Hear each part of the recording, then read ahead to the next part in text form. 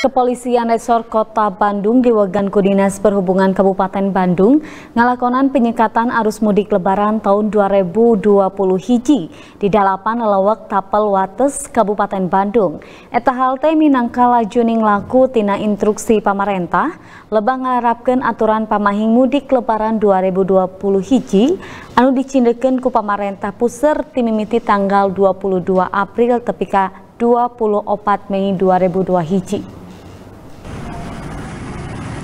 Satu tas dicindeken aturan pamahing mudik lebaran 2020 hiji dimimiti tanggal 22 April tepika 24 Mei 2020 hiji Kepolisian Resor Kota Bandung diwogan ku Dinas Perhubungan Kabupaten Bandung mimiti ngajaga kelawan kekep di sejumlah jalur di Kabupaten Bandung total ayat 8 lelewek anu dijaga ku Polresta Bandung jeung Dinas Perhubungan Kabupaten Bandung teh sumber di sejumlah tempat kawas di jalur Tapal Wates Kabupaten Bandung jeung sejumlah daerah Bandung Raya nyata Kota Bandung, Kota Cimahi, Kabupaten Bandung Barat, Sumedang serta wewengkon Priangan Timur Garut.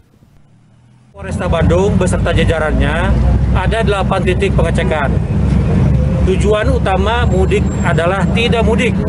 Jadi nanti yang akan keluar dari tol dengan indikasi mudik maka akan dikembalikan.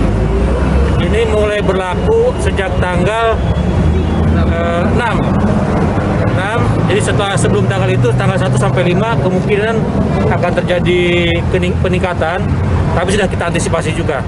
Kita nanti kita bergabung dengan Polresta Bandung. Tadi ada 8 titik, kita sesuaikan 8 titik itu.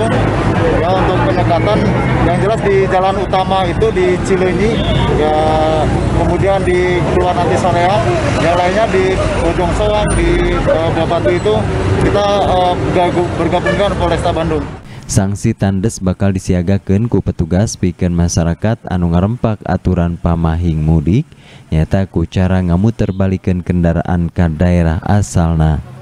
Yuhana Kurniawan, Bandung TV